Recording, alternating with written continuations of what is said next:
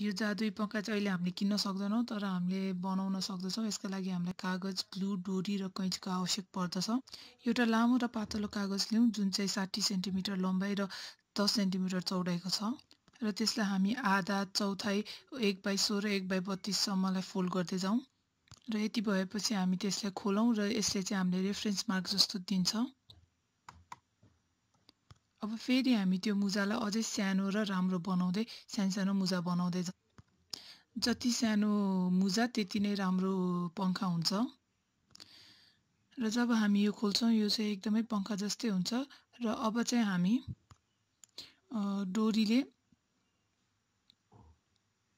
फ्यानको पङ्खाको तल टाँस्दछौँ। अब चाहिँ हामी एउटा कागज लिन्छौँ जुन चाहिँ बिस इन्टु आठ सेन्टिमिटरको कागज हो र हामी त्यसलाई एउटा स्ट्रले रोल गर्दछौँ। र यो सिलिन्डर सेपमा भएपछि हामीले त्यही सानो एउटा टेप लिन्छौँ र त्यसलाई टाँस्दछौँ। हामी स्ट्रलाई निकाल्दछौँ र दुइटै छेउलाई काट्दछौँ पेपरको कागजको कै। अब हामी कागजले अर्को एउटा सिलिन्डर जस्तो बनाउँछौँ जुनमा चाहिँ त्यो स्ट्र चाहिँ सर र भित्र जाने आउने गर्न सकोस्।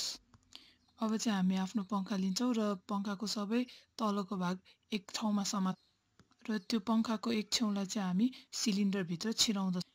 हामी पङ्खामा ग्लु लाउँदछौँ ताकि त्यो पङ्खा चाहिँ नझरोस् भनेर। अब हामी स्लिभलाई चाहिँ स्ट्रभित्र हाल्दछौँ र फ्यानलाई खोल्दछौँ र दुइटै डोरीलाई चाहिँ स्लिभमा ल्याउँदछौँ र त्यसलाई टेप लगाइदिँदछौँ। र अब हाम्रो चाहिँ फ्यान रेडी छ एकदम पङ्खा। सिलिन्डरलाई एउटा हातले र स्लिभलाई तल माथि गर्दाखेरि फ्यान चाहिँ बन्द हुने खुल्ने बन्द हुने खुल्ने गर्दछ। र हामीले चाहिँ एकदमै राम्रो मेसेज पनि लेख्न सक्दछौँ सन्देश।